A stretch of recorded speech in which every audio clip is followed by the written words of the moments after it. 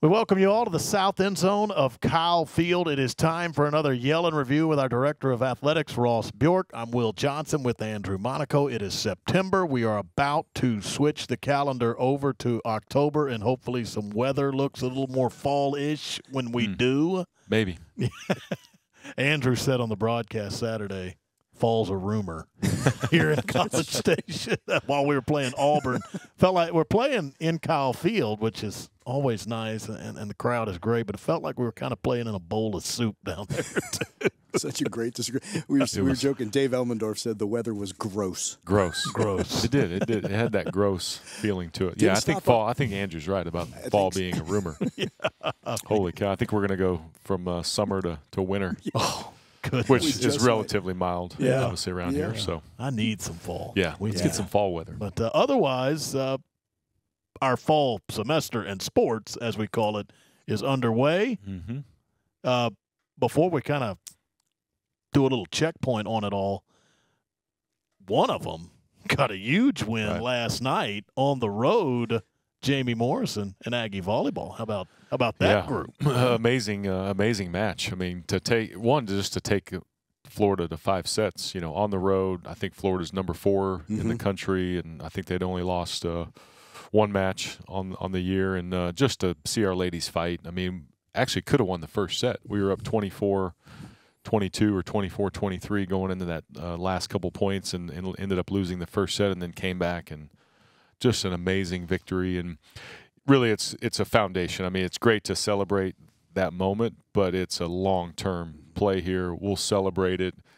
Obviously they can use that as a you know momentum point you know for the season but it, we're just getting started. And that's the cool thing is like you can see the building blocks being put in place but uh, I saw a couple of the uh, athletes earlier this week, and, and they were confident. We had just lost to Arkansas on the road, who's a top 15 team, and they were like, you know what, we're we can play better. We can play better. And uh, hey, let's see what happens at Florida. And sure enough, knock Yeah. them off. So that was fun. Just fun awesome. to watch last night, and it was on ESPN. Mhm. Yeah. Yeah. So that was cool to get national primetime exposure. A cool thing at Rudy's, match is on. Jimbo's doing his show. Jimbo in the, uh, during And the breaks. everybody's kind of watching but it. Yeah, Jimbo's giving an Yeah. answer, Yeah. cheering because Okay. Aggies win We a point. It was just Yeah. awesome. Just absolutely cool. awesome. Yeah, fun yeah. environment. No, great, great win. Yeah, and uh, yeah. So volleyball taking down number four Florida, as you said, fantastic for Coach Morrison and that squad. Uh, doing a little fall checkpoint here uh, as as we get it going. Uh, football three and one. We'll obviously take things up to Arlington uh, this week, but it's always nice to get started on the right foot in SEC play because every one of these Auburn, Arkansas, Alabama doesn't matter who you're playing. Each one's a grind. Right. no doubt. And, and I think in particular this year, there's so many even teams. I mean, everybody's kind of looking at the, you know, Georgia's obviously setting a, a- a standard, but everybody's looking at the West and saying, boy, it's wide open. So to me, that means that there's so much balance. It doesn't mean there's bad football teams. it means there's so much balance in our conference, uh, especially on the Western half. And the West is dominated for I don't know the last 12 years or so. Um, so yeah, it's uh, it's wide open. But to start off on the great home crowd, given the weather, it was definitely hot. 11 a.m. People are thinking, oh, the A and M crowd's not going to be great, and they're not going to show up. Come on, these are these are Aggies. It's the 12th man. Tons of energy leading up to that game. Um, so yeah, to start off on the right foot, to get an SEC victory, to have the defense, you know, really kind of maybe uh, maybe take the right step uh, was was fun to see. And obviously, uh, you know, we all are, are devastated losing Connor. Yeah. You know, for the season, um, but Max is a warrior. He's going to step up. The team's going to step up. I mean, everybody's going to rally around this, and and uh, let's hey, let's go, let's go play. Let's keep uh, keep playing well. Interesting on Friday, uh, cross country. Uh, they're going uh, swimming and divings. We'll get things going. started, right. Equestrian. We'll get Right. things going. Friday night is also soccer's turn it gold match. Mm-hmm. So, yeah, we've begun, but just more, more is coming. Right. yeah, it's actually a, a busy weekend. You know, here here at home with swimming and, and soccer and uh, volleyball. I think is uh, is here at home on uh, on on Sunday as well. So that, I think that'll be a great crowd uh, after the the big win last night. So yeah, just tons of activity. That that's what's great about you know the fall campus uh, activities is every weekend there's something. We just um, we have a concert coming up Mhm. At Reed Arena on November the 10th. Riley Green, Green. is that right? Riley Green. You're you're a fan of his, right? You know his music. You got him downloaded. Yes, I do. I'm sure you do. I could tell. Hit some of the just like I do. Just for like I us. do. I had to. I had to kind of look him up too. Uh, but he's he's popular. Uh, but that's great. We're doing those kind of things, right? Where we're making this campus come alive with athletic events, with concerts. Those are the kind of things that we want to do. So yeah, busy fall, and uh, hopefully we'll have great support as we move forward. Oh, and guess what? Both basketball teams begin Oh, yeah. practice this weekend. Hey, I, I, on the the way. men's side, boot camp's over. Boot camp So is there's over. a lot of Right. student athletes right. They're it's- happy about that. Joking Yeah. because uh, I was talking with Boots Radford, and he said wasn't sure if he was going to come back, and that was part of his decision. But he said, "Look, I, I think I'm in great shape. I always find out what kind of shape." He said, "But it's my job now to tell the younger guys when you get through boot camp, that's the toughest thing." Yeah. He said, "And don't think we don't remind each other." At halftime of the Alabama game at Reed Arena, he said, "You better believe Alabama didn't go through boot Right, camp. right. There's nothing that we There's- face." right. And he said, "I had Yeah. to do it, but also for the for the Yeah. younger people." But he had to think about it. He had it. to think about it. He's like, boy, do I want to go through that again? yeah, because he's done it, gosh, five years, Yes, he right? has. Virginia Tech Yes. and then, uh, then Yep, coming here. So. Absolutely. But, yeah, I it's hard to love- I- believe. I, love the T-shirt. The standard is the standard, Mhm. which That's right. You could apply And that that's to almost Buzz- any of our programs. That's correct? Right. That's right. And that's uh, that's what the cool thing about how Buzz you know leads and coaches is it's more than just the basketball piece. It's hey, if we do all these other hard things, the basketball part's going to come easy. But it's hard to believe basketball season. We're Mhm. talking. I mean, that's what we're talking Right about is corner. right around the corner. So exciting times. Let's uh, hopefully keep it rolling. Yep. All right. And uh, we'll get to the line of questioning from the 12th man. As always, if you have a question for Ross, you can submit it at the official website of Texas A&M Athletics, 12thman.com slash ask Ross. Uh, not a ton of questions this September, but lengthy In- questions in- that we're going to have to actually get a little more concise on it. In in depth. Yeah, I, I would say Questions. wordy, in depth, Yeah. uh, some opinions slung ana- around some in there. analysis. I, in there now, in the questions. That's I'm good. actually going right, to condense though, Okay. uh, because Okay. because uh, even with a, a few questions, we could be here for a while if we, as we like to say, unpacked all this Mhm. each time. But uh, we will begin with Kevin Jennings. He's class of '87. He's from the New Braunfels areas uh, area over there near San Antonio, San Marcos. Uh, basically, the after a lot is put down on paper, the question is why did Texas A&M pick SeatGeeks over other third-party ticket exchange providers, and what influence does Texas A&M have over the provider? Yeah, yeah. No, it's a it's a great question, a fair question, and he he points out some things around service fees, and he ran an analysis um, over a, a game that he was looking at buying some tickets from, and I don't I don't know all the algor- algorithms around why fees are certain certain ways. Uh, he talked about you know an eighty dollar service fee in one transaction, and so th- those are things that you know that we'll look at, Kevin. But basically, here here's how it works: is the 12th Man Foundation is the ticket provider for Texas A&M athletics. They we have a contract with the 12th Man Foundation. They run our entire ticketing operation, um, and and we're in partnership with them on that endeavor. And then there's a software system called Paciolan that runs our ticketing service platform. So everything online, when you make a transaction, you buy a seat, it all runs through what's called Paciolan. Then Paciolan then goes out and works with the secondary provider. So they're the ones out controlling that that contract. So they're the ones that went out and formed a, a formal relationship with SeatGeek. Uh, he mentions that maybe we had StubHub before. I don't believe we've ever run our own internal secondary market or exchange pro. It all goes through Paciolan. Paciolan then comes up with the right kind of partnerships. Um, and so that that's really how the, the layers work, Kevin, is 12th Man Foundation, Paciolan, Paciolan to SeatGeek. And look, technology is going to keep evolving. Mm-hmm. Every single year, there's a new widget, there's a new app, there's new something. So this is definitely something that we're going to you know keep on the radar and make sure that we have the the, the best platforms. And what we always kind of hear from, especially in baseball and maybe basketball, is those seats are sold. How do we get them in the hands of people that can go? football kind of takes care of itself. And so that that's always something that we want to make sure that Aggies are filling the seats. And Paciolan does a great job as a service provider. They work with SeatGeek and and uh, try to make those transactions as as seamless as uh, as possible. So we have a little bit of say so, uh, but overall we're going to rely on the experts, mm-hmm. and uh, and that's Paciolan and our folks in the 12th Man Foundation to make sure that we're we're doing this at the highest level. All right, off and running with the 12th man here. Let's continue.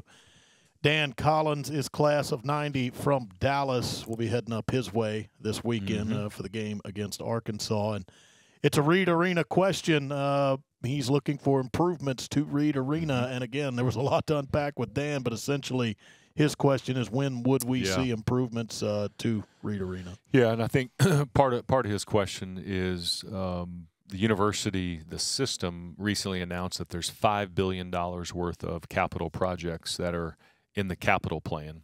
Uh, and there's different layers to that um, as that capital plan gets submitted. And athletics, we have some pieces on there. Actually, Reed Arena is listed on the capital plan as a $125 million project. That's a that's a placeholder uh, number. And so, but what happens is you have to fund it. So just because we throw out here's a $5 billion capital plan, that doesn't mean all of those projects are funded. Some have funding identified, most of them do not. and so, as the process unfolds, who's going to pay for it?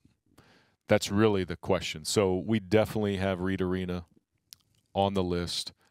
It is definitely a priority. It's just identifying where does the funding come from.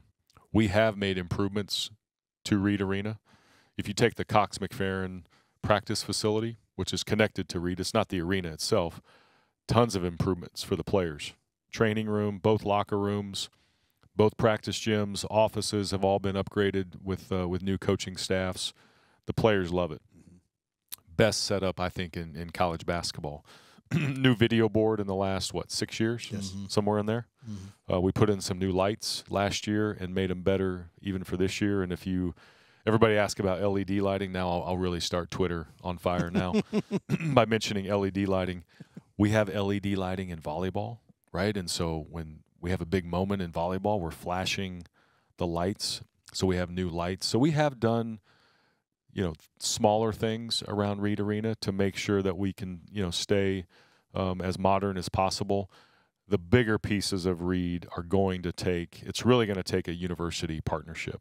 That building is used much more than just athletics it's then the center of campus. The west campus continues to to grow and expand. The master plan of the campus. Now we have uh, we have a transition in leadership at the university. Um, so it it's on the list. It's a multi-purpose facility. We have a placeholder number. We would have to identify what's the exact plan, and then what's the funding mechanism to uh, to build the building. So uh, definitely something that we're keeping alive and um, I think we've said it on this show many times. Do you build a new arena or do you renovate? Mm-hmm. And that's still something that's out there. We definitely need a, a, an arena of that size on this campus for other events.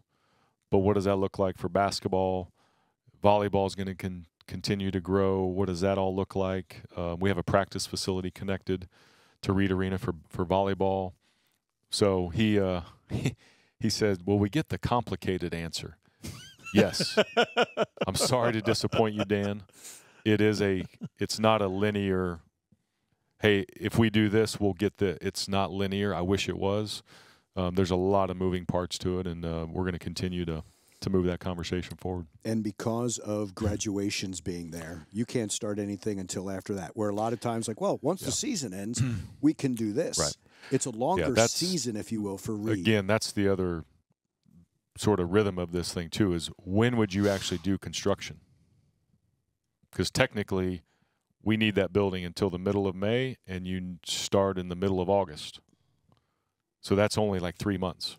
If you're thinking the basketball, you're thinking, right. oh, it's November, right. December. You can do it right, right. after the last home game. So the, really. the rhythm and the sequencing of when to do construction to not disrupt major activity, or you have to move that activity temporarily somewhere else uh, within our campus or community. So it's not again back to it's not a linear approach because that building is used by multiple multiple constituents on this campus and that's a great thing hmm but it complicates it. And uh, so we'll, we're going to keep it uh, keep it at the forefront keep planning keep discussing keep working with our, our university partners in uh, in that conversation. But reed something needs to happen around fan experience and concessions and seating bowl. We we totally understand that.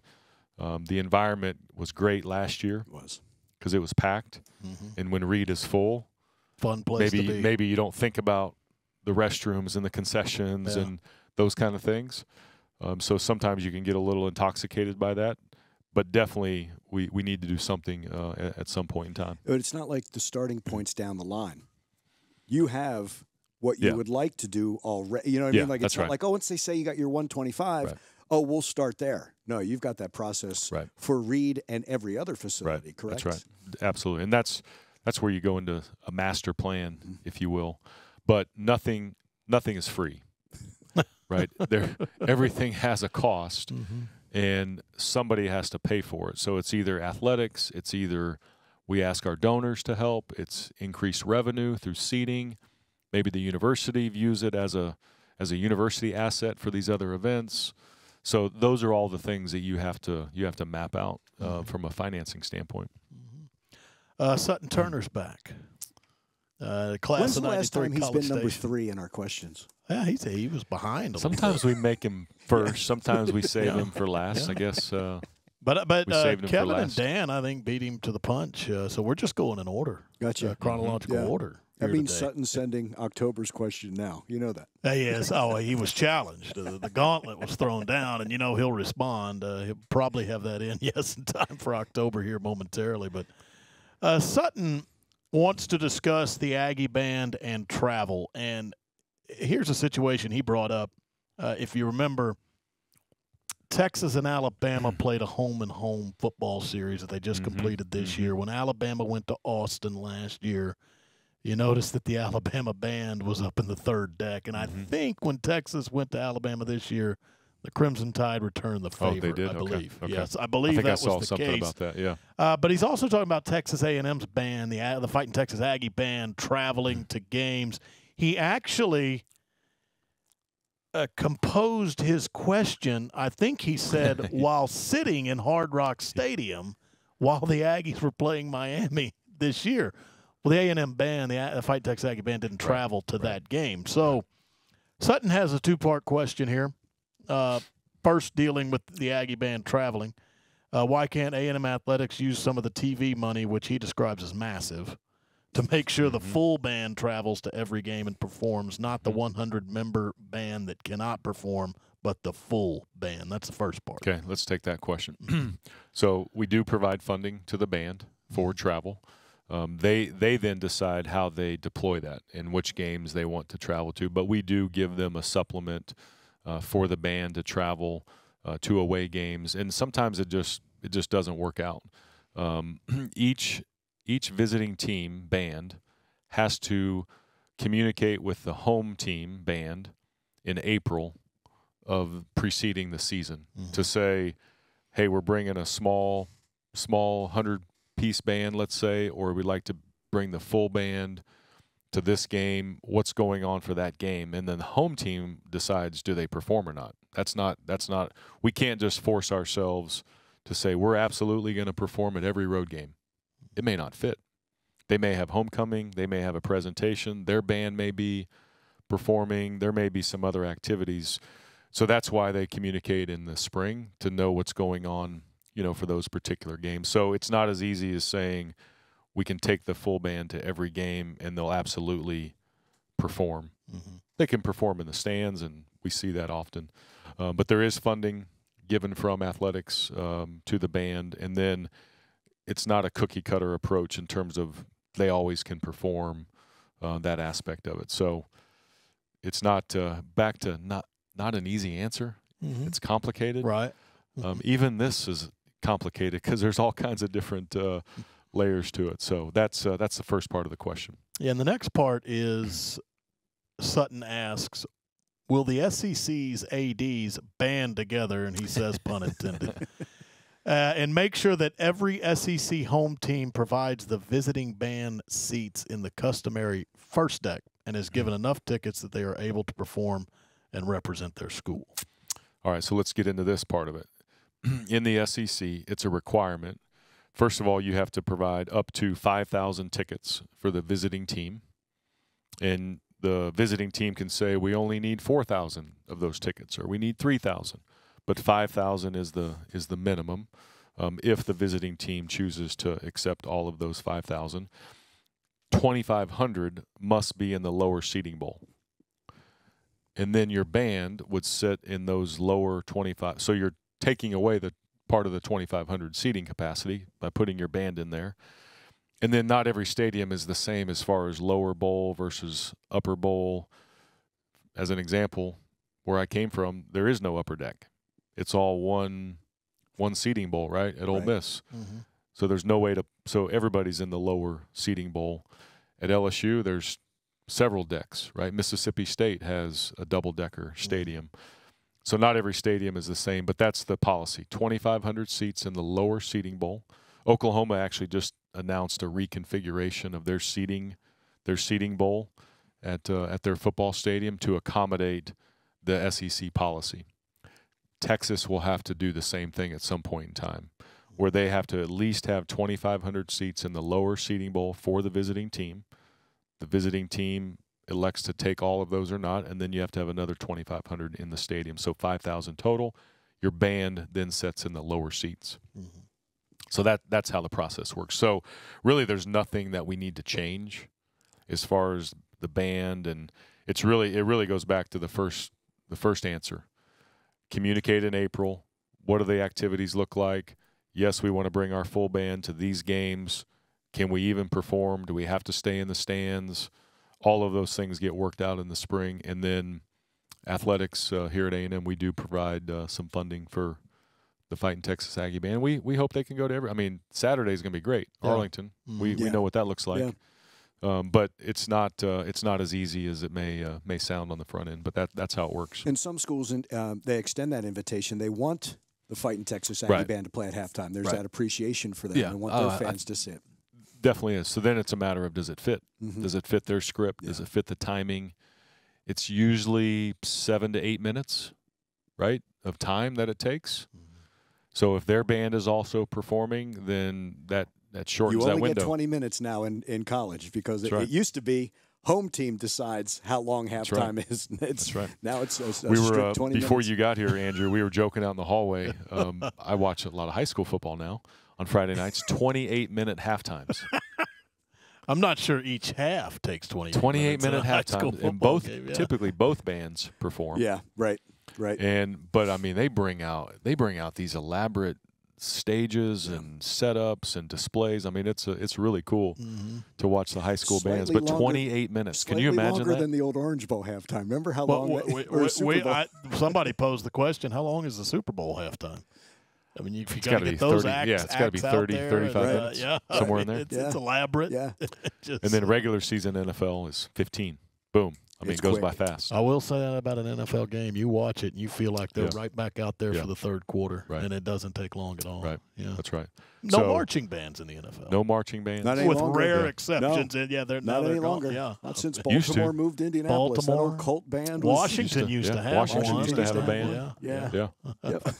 but no, good good question, Sutton, on uh, on the Fighting Texas, and we have a great we have a great relationship with the Corps, with the band. I mean, we we partner with them on as many things as possible, and obviously they're a huge part of game day, and we want to continue that, and uh, hopefully they can go to as many games as possible You're on the road. constantly over there, aren't you? As Yeah, as, it's just as, neat. as yeah. often as yeah, you can. it's just neat. It's just neat. One, what they stand for. We went out and ran with them uh, with the whole Corps last week at uh, at 5:45 in the morning. They do a spirit run uh, on home game weekends, and just to see the discipline, the approach, the the organization of it. I mean, every morning they're out there at 5:45, basically standing at attention, getting in formation, starting their PT. So it's just just a cool representation of what makes A and M, you know, special. And so, whatever we can do to support them, that's what we want to do. Bu- Buzz has been over Yeah. to the Corps a lot lately. Yeah. I know we've had some other teams uh, working with our Corps cadets, and so it's uh, it's really neat to have that relationship. Uh, real quick before you go, uh, not from the 12th man here, but just uh, Arkansas week. We're going to Arlington. Uh, they are on the schedule next year, 2024, for Right. Arlington again, and then uh, there, there's just not clarity after that. You don't Right. know if Arkansas is even on the schedule, uh, but if so, home and home after that. If, if we're seeing Yeah. the Razorbacks in 2025 and Yeah. beyond, Yeah, we'll we'll definitely play Arkansas um, after 2024, but we'll play them uh, really twice over a four-year period, Mm. and it'll be on campus. It'll be uh, home and home on campus. We don't know exactly the the format yet. Do we stay at eight conference games or go to 9 Mhm. conference games? We've said it on here numerous times. We're a proponent of nine. We want to go to nine conference games, but in either format, there's no divisions. Arkansas would not be one of our permanent opponents, so we would play them twice over a four-year the, the period. rotating. But yeah. those games would return back to campus. So there's two years left on the current agreement with AT&T Stadium, and then after that, you're not going to play them every year, so it doesn't make sense to play a, a neutral site um, anymore. And the, in those games, I've I've said it, those games should be on on campus. We're playing an SEC opponent. Those games should be on campus, and uh, that's how we view it. And but we'll embrace it these last two, and Mhm. hopefully uh, go up there and play well and have a great turnout, and it'll be fun. And then in the future, we're there for a Cotton Bowl, a semifinal, or a championship game. Yeah, twelve team playoff starts next year. That people know about it, Yeah. but think about it. next. We're going to be sitting here next year Uh huh. talking about twelve teams getting into a college football playoff. Yeah.